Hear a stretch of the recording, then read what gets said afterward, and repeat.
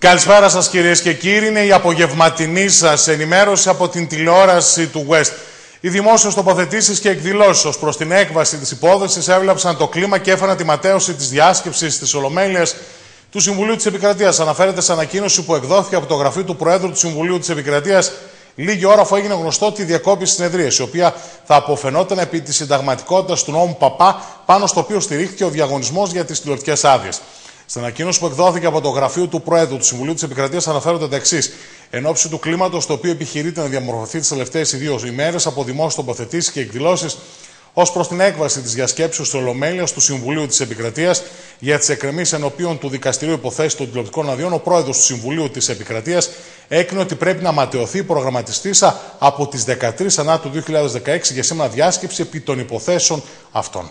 Θα δούμε ποιες θα είναι οι εξελίξεις τι ε, επόμενες ώρες, κυρίες και κύριοι. Θα έρθουμε τώρα στον ε, συνάδελφο δημοσιογράφο, τον ε, καλεσμένο μας, τον Θεόφιλο τον Παπαδόπουλο, για να δούμε τα θέματα της οδεξιογραφία και σήμερα. Καλησπέρα, Θεόφιλε.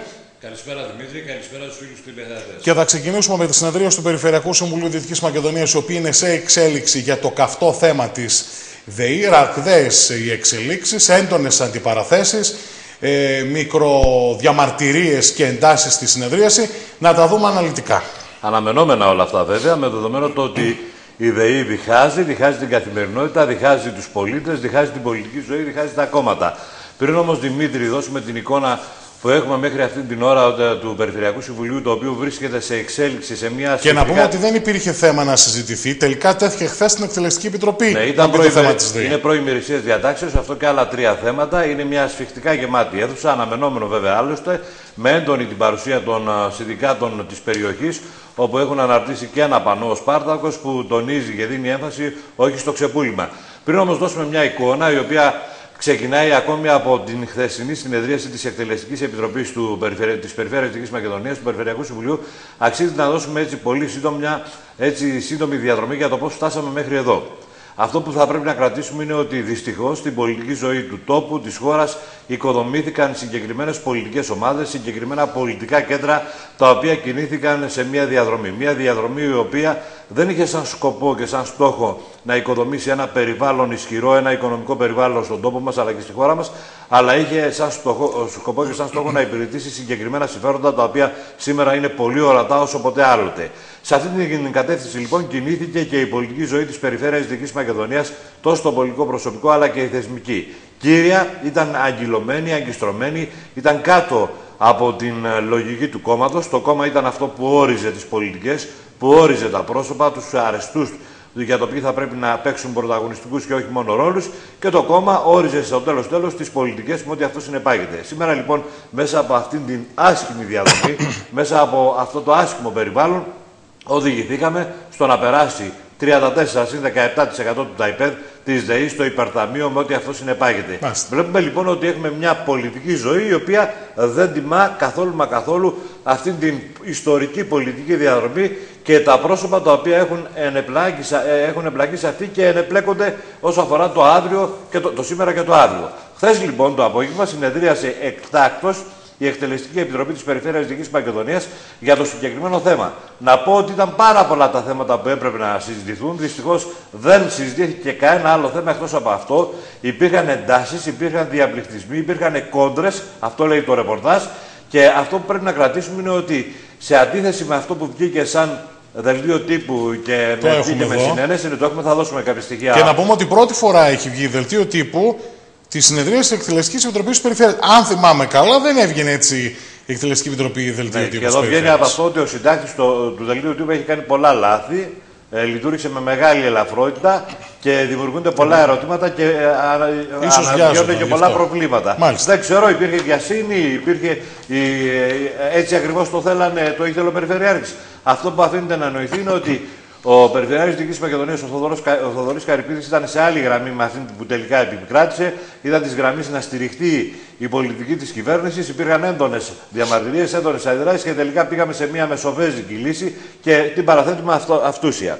Συγκεκριμένα, Τονίζεται ότι στη συνεδρίαση η Εκτελεστική Περιφέρεια Δυτικής Μακεδονίας με βασικό θέμα τις πρόσφατες εξελίξεις στον χώρο της Δική και ειδικότερα της ένταξης της επιχείρησης ηλεκτρισμού αλλά και άλλων επιχειρήσεων ίδρυυση και άμεσα στην άμεσα θηγατρική εταιρεία την ΕΔΙΣ, η οποία ανήκει στο υπερταμείο σύμφωνα με τον νόμο 4389 του 2016. Να πούμε ότι αυτή την εταιρεία, αυτό το υπερταμείο, το ψήφισε σχεδόν το σύνολο της πολιτικής ζωής της χώρας, πλην του Κουκουέ και της Χρυσή Αυγή. Θα το τονίσουμε αυτό, για να μην κάποιοι διαμαρτύρονται σήμερα ότι εκεί οδηγήθηκε η εταιρεία. Εδώ οι ευθύνε είναι τεράστιες.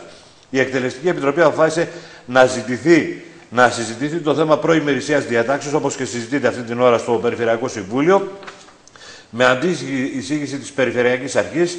Την, εισήγηση, ε, την εισηγήθηκε η Αντιπεριφερειάρχη υπεύθυνη σε θέματα ενέργειας, η κυρία Ελισάβα του Παναγιοτήδου, να το τονίσουμε αυτό που θα επιβεβαιώνει μια, για ακόμη μια φορά ότι η ενέργεια και τα νερά είναι δημόσια αγαθά και δεν πολλούνται και δεν εκποιούνται. Αλήθεια, χρειάζονταν να τονιστεί ότι θα επιβεβαιώνει ότι η ενέργεια και τα νερά είναι δημόσια αγαθά, γιατί είναι κάτι το διαφορετικό και δεν το γνωρίζουμε. Μήπως ανήκουν σε κάποιο ιδιώτη ή σε κάποιες εταιρείες. Και είχαμε και τρεις αποφάσεις. Ε, βέβαια. Η πρώτη απόφαση είναι η πλήρη διαφωνία του Περιφερειακού Συμβουλίου στη μεταφορά του 34% της ΔΕΗ και άλλων επιχειρήσεων της ίδρυυση στην ΕΔΗΣ. Αυτό έγινε όμως, άσχετα αν διαφωνήσει το Περιφερειακό Συμβούλιο, έγινε και την πρόθεση του Περιφερειακού Συμβουλίου για πρωτοφανείς ε, δυναμικές κινητοποίησεις σε περίπτωση πώλησης έστω και μία μετοχής από το 17% της επιχείρησης που βρίσκεται στο ΤΑΙΠΕΔ.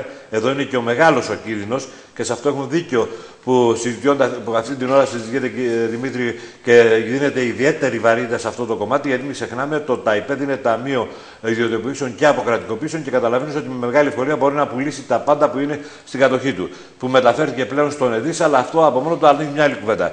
Και το τρίτο ήταν ότι το Περιφερειακό Συμβούλιο θα πρωτοστατήσει υλοποιώντας την αρχή της άμεσης δημοκρατίας.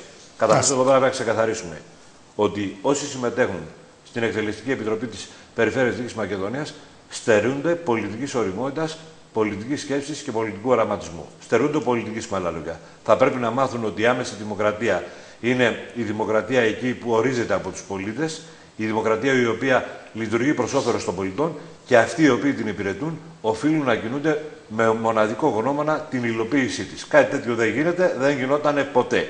Στο άλλο ζήτημα είναι το ότι όταν είσαι ένας θεσμικός εκπρόσωπος, ένα θεσμικό όργανο το οποίο θέλει να λέγεται ότι είναι όργανο δημοκρατικού περιφερειακού όπως το Περιφερειακό Συμβούλιο, οφείλεις να προλαμβάνεις τις όποιες αρνητικές εξελίξεις. Η απόφαση των προηγούμενων ημερών να ενταχθεί στο πολυνομο... να περάσει μέσα από ένα πολυνομοσχέδιο και να ενταχθεί στο υπερταμείο το 34% της ΔΕΗ ήταν μια απόφαση που όφιλε το σύνολο της πολιτικής ζωής της Περιφέρειας Δυτικής Μακεδονίας, ειδικότερα του νομού Κοζάνης και του νομού Φλόρινας, αλλά με τους θεσμικούς εκπροσώπους, να ταμπουρωθούν, να βάλουν πλάτες, να προλάβουν την οποιαδήποτε αρνητική εξέλιξη. Κάτι τέτοιο δεν έγινε. Υπήρχαν ολιγορίες, υπήρχαν παθογένειες, υπήρχαν ανεπάρκειες. Είναι πολύ όρατες, το τονίζω Δημήτρη, και θα πρέπει κάποτε να γίνει και ένας δημόσιος απολογισμός από όλους όσους εμπλέκονται και φτάσαμε σε αυτή την αρνητική απόφαση. Θα δούμε και τώρα. Ολοκλήρωσαμε γιατί θα περάσουμε να τη δήλωση του Άρα λοιπόν, Τώρα μην κρυβόμαστε πίσω από μια απόφαση, πίσω από μια ψηφοφορία, από ένα νομοσχέδιο. Είναι γεγονός, είναι πραγματικότητα. Η ΔΕΗ ανήκει στο υπερταμείο με ένα ποσοστό 51% και γι' αυτό ο καθένας μας θα αναλογιστεί τις ευθύνες του και ας μην προσπαθεί να καλύψει ή να κρυφτεί πίσω από δεσμεύσεις που έχουν δοθεί προφορικά, δεσμεύσεις από την πλευρά του κυρίου Σκουλέτη, του κυρίου Σπίρτζη αλλά και του κυρίου Τσακαλώτου. Αυτές οι δεσμεύσεις είναι ελεκτικές. Δεν διασφαλίζουν σε καμία περίπτωση κανένα μα κανέναν. Το είπε βέβαια πολύ παραστατικά πριν από λίγο ο πρόεδρος του Σωματείου Ενέργειας ΔΕΗ Σπάρτακος, ο κύριος Μόσκο, ο οποίος είπε ότι από το 2018 θα τα δούμε όλα. Μάλιστα. Ωραία. Πάμε σε αυτό το σημείο να δούμε την πρώτη επίσημη, τις πρώτες επίσημες δηλώσεις του Περιφερειάρχη Δυτικής Μακεδονίας πριν την έναρξη του Περιφερειακού Συμβουλίου Θεόφιλου. Τον είδαμε κάπως διαφορετικό σε σχέση με τις προηγούμενες μέρες. Εντάξει, δεν είχαμε επίσημες δηλώσεις. Να δούμε τις ε, πρώτες δηλώσει του, δηλώσεις του Περιφερειάρχη Δυτικής Μακεδονίας, Σόδρου Καρπίδη, και επιστρέφουμε και πάλι στο στούντιο της τηλεόρασης του West. Τα πειρά δεν είναι κάτι πρωτοφανή. Είναι πάγια τακτική. Αυτοί που έχουν διαφορετικές απόψεις και θέλουν να λειτουργούν με τις λογικές του χθες, να ξαπολύουν πειρά και να πηγαίνουν στην ουσία. Άρα δεν ξαφνιάζουμε από αυτό. Θα επιστούσα την προσοχή όλων να υπάρχει νυφαλιότητα, καρτερικότητα, διότι εδώ μιλάμε για το μεγαλύτερο διακύβευμα της περιοχής. Εμείς μένουμε σταθερά και απαρέγκλητα στα προτάγματά μας ότι τα νερά και η ενέργεια είναι δημόσια αγαθά αδιαπραγμάτευτα και είπαμε σε όλους τους τόνους, το είπα και προχθές που συναντήθηκα τον κύριο Σκουρλέτη, μην τολμήσουν και τα κουμπίσουν και τα πειράξουν. Έχουμε μια αρνητική εξέλιξη. Εμείς θεωρούμε ότι αυτή η εξέλιξη είναι ουσιαστικά πάντα το μέσα εισαγωγικά, εκτός εισαγωγικών, προπόληση της επιχείρησης το μεγάλο αγκάθι είναι το 17% στο ΤΑΙΠΕΔ, το οποίο όπως ξέρετε από εκεί έχουμε εκποίηση της δημόσιας περιουσίας. Άμεσα θα πρέπει να φύγει από εκεί αυτό το ποσοστό, γιατί έχουμε διάλυση στο προσχέδιο διάστημα του Ταμείου. Και βέβαια το 34% το ότι πήγε σε ένα ταμείο των δημοσίων συμμετοχών που φαντάζει ότι είναι του δημοσίου, αλλά με πάρα πολλά ερωτηματικά που ανα πάσα στιγμή δίνει τη δυνατότητα στον οποιοδήποτε να εκποιήσει δημόσια περιουσία, νομίζω ότι δεν είναι ευχαριστή εξέλιξη. Εμείς, ε, εκτός ημερησίας ε, διατάξεως, φέρνουμε το θέμα στο Περιφερειακό Συμβούλιο για να υπάρξει απόφαση, όχι διαμαρτυρία, απόφαση που να μας φέρει όλους πρώτων ευθυνών Να, να επαναβεβαιώσουμε τα προτάγματά μας, να καταδικάσουμε αυτή την ε, εξέλιξη, να προβούμε σε δυναμικότατες κινητοποίησεις, αν τολμήσουν και πειράξουν αστυνομική ανατοχή. Και επειδή, όπως έχουμε πει μέσα στα άλλα προτάγματά μας, κυρίαρχο θέμα είναι και η άμεση δημοκρατία, να πρωτοστατήσουμε σε ό,τι αποφασίσουν αυτοί εδώ οι άνθρωποι της Εργατιά, που χαιρετίζουμε και μας βοηθάει η παρουσία τους από αυτούς θα αντλούμε δύναμη, αλλά και οι υπόλοιποι κοινωνικοί εταίροι της περιοχής και όχι μόνο, να προβούμε σε τέτοιες κινητοποίησεις που δεν θα έχουν δει ξανά παρόμοια. Δεν είναι μόνο η μετοχική σύνδεση της ΔΕΗ που είναι το αυτονόητο. Είναι ότι θα πρέπει να προβληματιστούμε για επιπρόσθετη δράση στήριξης του λιγνίτη. Ο λιγνίτης τα τελευταία χρόνια δέχεται μία πολεμική. Θέλω να διαβεβαιώσω ότι εκεί διοχετεύουμε και τις δυνάμεις μας και τη στρατηγική, στήριξη της δημόσιας επιχείρησης, στήριξη των δημοσίων αγαθών που είναι και τα νερά, αλλά στήριξη πρωτίστως και του λιγνίτη δεν θα επιτρέψουμε άλλο συρρήκνωση του λιγνίτη. Και εδώ πρέπει όλοι να αναλάβουμε τις ευθύνες μας. Και εμείς θα το πράξουμε στο ΑΚΕ. Εάν χρειαστεί, το είχα πει πολύ νωρίτερα και σε κεντρική συγκέντρωση που είχε γίνει με αρμόδιους υπουργούς, με τους βουλευτές, με τους δημάρχους, αυτό που συγκροτήθηκε η Επιτροπή που θα πρέπει να διαχειριστεί και προκαλώ μια σύσκεψη τη Δευτέρα, πριν ακόμη έχουμε αυτή την εξέλιξη, εδώ και 10 μέρες την είχαμε προγραμματίσει, για να σε ένα σχέδιο όχι για τη μεταλληλητική περίοδο, γιατί εμείς θεωρούμε ότι δεν υπάρχει μεταλληλητική περίοδο. Μέσα σε αυτή την περίοδο και άλλες αναλλακτικές προοπτικές ανάπτυξης τη περιοχής, πάντα με βάση την ενέργεια και τα νερά που διαθέτουν η περιοχή. Είπαμε το εξής, ότι θα πρέπει οι ευθύνες όλων να είναι σε τέτοιο επίπεδο, που το είπα και σε κεντρικό επίπεδο, παρουσία όλων και των βουλευτών και των δημάρχων, ότι αν χρειαστεί θα δημιουργήσουμε και θεσμική εκτροπή και ο καθένας μπορεί να το ερμηνεύσει. Είχε ψηφιστεί και ήρθε μια άλλη κυβέρνηση και την κατήργησε. Για να θυμίζουμε λίγο και την ιστορία, έτσι. Υπήρξε η μικρή ΔΕΗ, υπήρξε το 17% στο ΤΕΠΕΔ, υπήρχε το 66% του ΑΔΜΙ. Υπάρχουν τρόποι. Έτσι. Αλλά οι τρόποι αυτοί θέλουν στρατηγική, εξορθολογισμό και τεκμηρίωση. Εκεί που παίρνονται οι αποφάσεις. Εμείς εργαζόμαστε στα κέντρα που αναφερόμαστε. Ξέρω ότι έχω στείλει και επιστολές στον Νομό Επίτροπο Ενέργειας ε, στην Ευρώπη για τη στήριξη του λιγνίτη, για απαλλαγή του λιγνίτη από μια σειρά φόρο που τον καθιστά ανταγωνιστικό, κάτι το οποίο δεν συμβαίνει σε άλλες περιοχές. Θεόφιλε, ακούσαμε τη δήλωση του Περιφερειάρχης της Δυτικής Μακεδονίας. Είναι οι πρώτες του επίσημες δηλώσεις. Παρότι το θέμα να πούμε ότι εισηγήθηκε σήμερα, δεν ήταν εισηγητής ο Περιφερειάρχης, εισηγήθηκε η Αντιπεριφερειάρχης Ενέργειας και Περιβάλλοντος, η κυρία Ελισάβετ Παναγιοτήρου. Ναι, θα περίμενα, Δημήτρη, ότι το θέμα θα το είχε εισηγηθεί την πρόταση της ε, Περιφερειακής Αρχής θα την είχε εισηγηθεί ο ίδιος ο Περιφερειάρχης. Κάτι τέτοιο δεν έγινε. Σαφώς και την εισηγήθηκε για την Περιφερειακή υπεύθυνη σε θέματα ενέργειας η κυρία Παναγιοτήδου, η οποία κινήθηκε στις γραμμές αυτές οι οποίες ε, αποφασίστηκαν κατά τη διάρκεια της ε, χθεσινοπρατηγή συνεδρίας της Εκτελεστικής Επιτροπής. Εγώ πάντως θα περίμενα σαν τέτοιο βασικό κεντρικό θέμα να είναι εισηγητής ο Περιφερειάρχης, αυτός που ηγείται της Περιφέρειας Δυτικής Μακεδονίας. Ο κ. Καρυπίδης στρατηγικά επέλεξε να μην είναι αυτός ο συζητητή, γιατί βρίσκεται πολύ στριμωγμένος όλες αυτές τις μέρες. Με δεδομένο το ότι παλαιότερα ο κ. Καρυπίδη έκανε συγκεκριμένες δηλώσεις, τις οποίες τις ε, παρουσιάσαμε στα προηγούμενα δελτία ειδήσεων τις προηγούμενες μέρες και προεκλογικά και μετακλογικά. Καταλαβαίνεις, Δημήτρη, ότι βρίσκεται σε πάρα πολύ δύσκολη θέση. Με δεδομένο το ότι ο κ. Καρυπίδη δεν έκρυψε ποτέ βέβαια ότι είναι φίλος και μέλος του ΣΥΡΙΖΑ ότι στηρίζει αυτή την κυβέρνηση, στηρίζει τον Πρωθυπουργό τον κύριο Τσίπρα. Όλα αυτά βέβαια τα φέρει βαρέως, όλα λειτουργούν αρνητικά τη συγκεκριμένη χρονική περίοδο, γιατί μην ξεχνάμε ότι κανένας δεν ήθελε να βρεθεί να ζήσει μια τέτοια εξέλιξη που αφορά ότι μεταφέρθηκε το 51% της ΔΕΗ, μια ΔΕΗ η οποία οικοδόμησε επί πολλά έτη την οικονομία του τόπου αλλά και την εθνική οικονομία και σήμερα βρισκόμαστε στον κίνδυνο να ιδιωτικοποιηθεί αυτή η επιχείρηση, να περάσει σε χέρια κρατικών εταιριών ενέργειας και δει καλή ώρα της Γαλλίας. Αυτές είναι οι πρώτες πληροφορίες που έχουμε μέχρι αυτή τη στιγμή ότι θα, θα ξεκινήσουν οι διαδικασίες παραχώρησης του πληθυντικού πακέτου στην Γαλλική Εταιρεία Ενέργειας. Με ό,τι αυτό συνεπάγεται, με δεδομένο το ότι μην ξεχνάμε, το τονίζω για ακόμη μια φορά να έχουν γνώση οι φίλοι τηλεθεατέ ότι η επίσκεψη Ολάντ στην Αθήνα είχε και από αυτό. Ένα μέρος αφορούσε αυτό. Το ερώτημα που τίθεται είναι, Δημήτρη, ότι όταν στο υπερταμείο το 51% της ΔΕΗ θα έχει περάσει σε άλλα χέρια διαχείρισης, θα έχουμε μπροστά μας και νέα δεδομένα. Δεδομένα που έχουν να κάνουν σε σχέση με τον τοπικό πόρο ανάπτυξης. Μέλη να δούμε πώς αυτά θα μας τα διευκρινίσουν οι λαλίστατοι, κατά τα άλλα σιωπώντες βουλευτές του ΣΥΡΙΖΑ σε επίπεδο Κοζάνης και σε επίπεδο Φλόρινας. Πώς θα μας τα διασφαλίσουν, ε, θα μας τα διασφαλίσει η κυβέρνηση και οι θεσμικοί εκπρόσωποι και τι θα συμβεί με την τηλεθέρμανση, το οποίο είναι ένα αγαθό το οποίο αυτή τη στιγμή πολύ φθηνότερο από το πετρέλαιο, τη στιγμή που τότε θα εμφανιστούν αυτοί οι συγκεκριμένοι άνθρωποι οι θα ελέγχουν και θα διαχειρίζονται το 50% και θα βάλουν ζητήματα ότι, κοιτάξτε να δείτε, κοινωνική πολιτική τέλος. Αυτά ήταν σε άλλες εποχές όταν το πλειοψηφικό πακέτο το είχε το δημόσιο. Σήμερα δεν το έχει το δημόσιο, άρα λοιπόν θα πρέπει να πάμε σε μια άλλη αλλαγή πλεύσης, σε άλλη πολιτική, με ό,τι αυτό συνεπάγεται. Από μόνο του θα δημιουργήσει πάρα μα πάρα πολλά προβλήματα, τα οποία δεν τα έχουμε αυτή τη στιγμή, τα βλέπουμε όμως και θα τα ζήσουμε. Ο κύριος Καρυπίδης ήταν πολύ φυσιολογικό μέσα σε ένα τέτοιο περιβάλλον, σε ένα περιβάλλον από αστερίξους που είχε, που είχε βάλει πολύ σύντομα. Αστερίσκους όσο αφορά την πώληση της ΔΕΗ. Αλλά και μετά διαφοροποιήθηκε το ναι μεν αλλά καταλαβαίνεις πολύ, πολύ εύκολα, πολύ εύστοχα ότι είναι πολύ φυσιολογικό να θελήσει να κρατήσει κάποιες πισινές, να βάλει άλλους μπροστά και να μην δεχτεί τα πυρά τα οποία είναι αναμενόμενο ότι θα έχουμε στη διάρκεια της συνεδρίας του Περιφερειακού τα... που θα κρατήσει για πάρα πολλές ώρες. Και... Αυτή είναι μια πρώτη ανάγνωση των εξελίξεων που έχουμε αυτή τη στιγμή. Και θα δούμε και ποια θα είναι η απόφαση. Και φυσικά θα δούμε και τι θα γίνει τις επόμενες ώρες. Τώρα, η κυρία, ναι, πριν πάμε να δούμε κάτι, η κυρία Παναγιοτήδη κινήθηκε όπως ήταν φυσικό και αναμενόμενο στα πλαίσια αυτά που αποφασίστηκαν στην Εκτελεστική Επιτροπή. Είπε ότι ο δημόσιος χαρακτήρας της ενέργειας και των νερών είναι αδιαπραγματεύτο και δεν εκποιούνται. Αυτό αναμενόμενο ήταν. Είπε, έκανε λόγο βέβαια ότι ήταν για μια άσχημη εξέλιξη όσο αφορά το 34% που πέρασε στο υπερταμείο. Αυτό το τόνισε, έδωσε έμφαση και είπε ότι θα προχωρήσουμε σε πρωτόγνωρες κινητοποιήσεις. Αλήθεια, ποιες είναι οι πρωτόγνωρες κινητοποιήσεις, ο καναπές. Μάλιστα. Ωραία. Πάμε σε αυτό το σημείο να δούμε τις μικροεντάσεις. Μικροεντάσεις σημειώθηκαν κυρίες και κύριοι λίγο πριν την έναρξη της συνεδρίας του Περιφερειακού Συμβουλίου Δυτικής Μακεδονίας.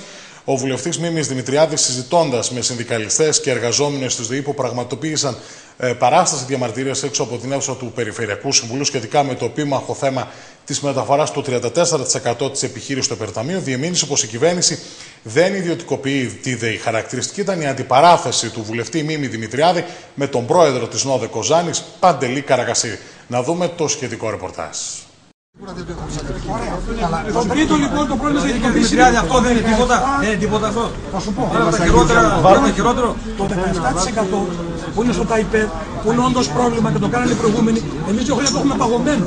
Δηλαδή εμείς βάζουμε πλάτη να μην κριτικοποιηθεί. Εντάξει, το 34 τι σημαίνει αυτό; Αξιοποίηση σημαίνει αυτό ή εκπίεση. Μάλλον για εκπίεση δεν σημαίνει αυτό. Κύριε Δημητριάδη, αυτό καταλάβαμε.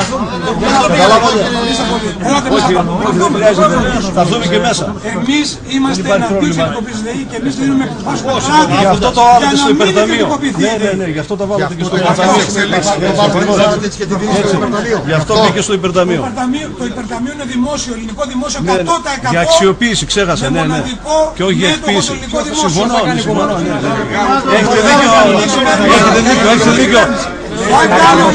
Καταδικάσατε, καταδικάσατε την περιοχή, την περιοχή μας και την δικιά σας. Καταδικάσατε την περιοχή σας. Σε πουλάτε. Σε πουλάτε. Είναι δημόσια, θα παραμείνει δημόσια. Σε πουλάτε. Με την ψήφο σας καταδικάσατε την περιοχή μας και την περιοχή σας. Ναι. Το 17% είναι στο ΤΑΙΠΕΔ που το πήγαν οι άλλοι. Το άλλο τι είναι; Γιατί το πρώτο τι είναι; Είναι πώληση. Και εσείς για αυτό σας τύψω κοπή. Να το πάρετε. Γιατί δεν το παίρνετε ρε παιδί. Ας βάλει μια υπογραφή μια υπουργική απόφαση στους κορλέους θα το πάρει.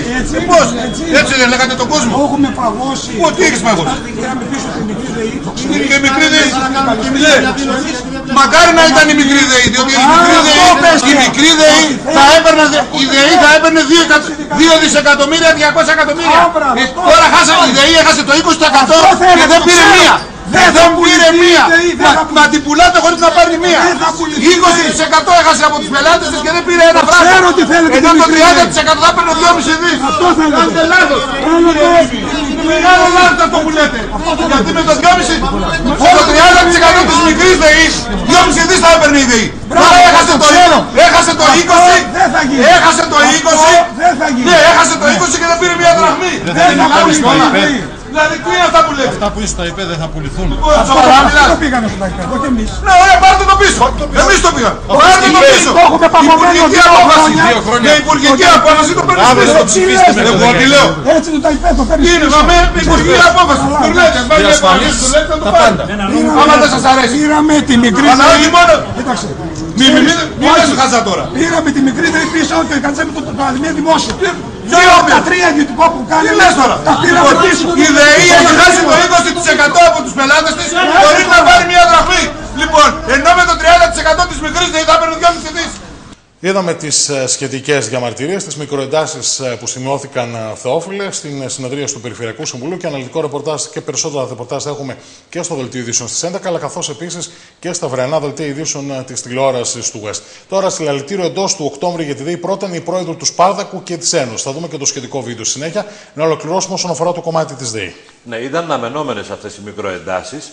Από την πλευρά του κ. Δημητριάδης στις αντιπαραθέσεις που είχε με προσώπου του συνδικαλιστικού και όχι μόνο κόσμου, ο κόσμου, προσπάθησε να κρατήσει και προσπάθησε να μην δεχτεί πολύ ισχυρή κριτική, λέγοντας ότι φταίει, φταίει για το κόμμα της Νέας Δημοκρατίας, απευθυνόμενος βέβαια στον πρόεδρο της Ενωμαρχιακή Διοικούσα Επιτροπής της Νέας Δημοκρατίας, τον κύριο Καρακασίδη. Αυτό ήταν αναμενόμενο. Αυτή είναι η άμυνα του κ. Δημητριάδη. Αλήθεια όμως, ο κ. Δημητριάδης όλο αυτό το διάστημα τι έπραξε, γιατί δεν ταυτίστηκε με αυτό που το εντέλει ο, του εντέλουν οι πολίτε της εκλογικής του περιφέρεια και της εκλογικής περιφέρειας σε καλή ώρα οι πολίτε του νομού Κοζάνης, γιατί δεν δέχτηκε να υπηρετήσει πρώτα και πάνω απ' όλα τα συμφέροντα της περιοχής και δέχτηκε να υπηρετήσει τα, τα συμφέροντα του κόμματός του.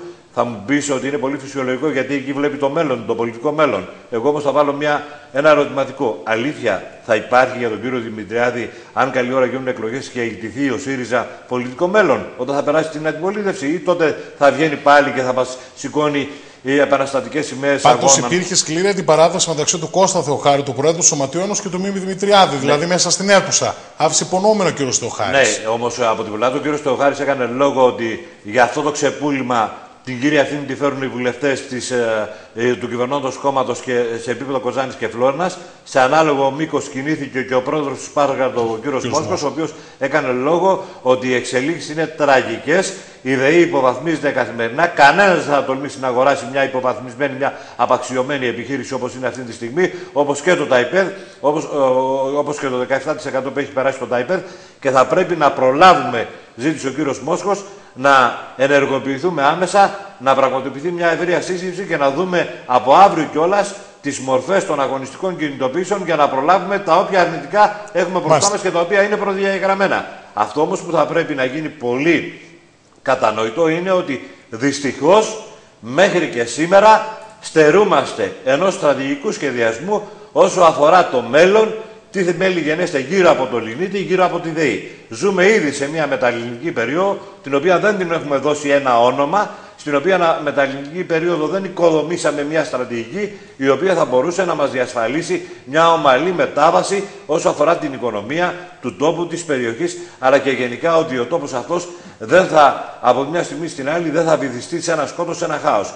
Ο κίνδυνος είναι ορατός να βυθιστούμε σε αυτό το σκότος, σε αυτό το χάος, λόγω του υπάρχουν, το ότι υπάρχουν ολιγορίες και ανεπάρκειες κύρια από το πολιτικό προσωπικό. Και το τονίζω για ακόμη μια φορά στους φίλους τηλεθεατές για να γίνουμε κατανοητοί. Υπάρχει μία και μόνο λογική αυτή τη στιγμή η οποία επικρατεί και υπερτερεί σε όλα τα επίπεδα. Είναι η λογική της ακεραι... του δόγματος της ακαιρεότητας του κόμματος και όχι της ακαιρεότητας και το μέλλον της περιοχής. Αυτή τη λογική υπηρετούν με τον καλύτερο δυνατό τρόπο οι τοποτηρητές, οι νέοι τοποτηρητές των αθηναϊκών συμφερόντων που αυτή τη στιγμή έχουμε στην περιφέρεια Δυτικής Μακεδονίας. Αυτή τη στιγμή οι νέοι τοποτηρητές είναι το σύνολο της κοινοβουλευτικής εκπροσώπησης του, το, του ΣΥΡΙΖΑ που Ωραία. είναι και στην κυβέρνηση. Καθαρά πράγματα για να ξεκαθαρίσουμε Ωραία, και για να να μην κλείσουμε μας το θέμα κατηγορούν της, για ε, της διάφορα ΔΕΗ, πράγματα. θα το δούμε και τις επόμενες ώρες. Να μείνουμε όμως για να πάμε να δούμε τι δήλωσαν ο πρόεδρος του Σωματείου Σπάρτακου και ο κ. Μόσκου και ο πρόεδρος του Σωματείου Ένωση για συλλαλητήριο εντός του Οκτώβρη για τη ΔΕΗ. Να δούμε το σχετικό βίντεο και επιστρέφουμε. Ε, θέλω να καθίσουμε όλοι μαζί και να λάβουμε συγκεκριμένες αποφάσεις για το πώς θα δράσουμε. Μία πρόταση που θα κάνω τώρα, τις υπόλοιπες θα τις συζητήσουμε, είναι να διοργανώσουμε ένα μεγάλο συλλαλητήριο εντός του Οκτώβρη, πριν προλάβει και ψηφιστεί στο ΤΑΙΠΕΔ. Ένα πολύ μεγάλο συλλαλητήριο όπως κάναμε για το νοσοκομείο, το πανεπιστήμιο και για τη μικρή ΔΕΗ. Καλύτερο θα έλεγα προκειμένου να στείλουμε ξεκάθαρα μηνύματα.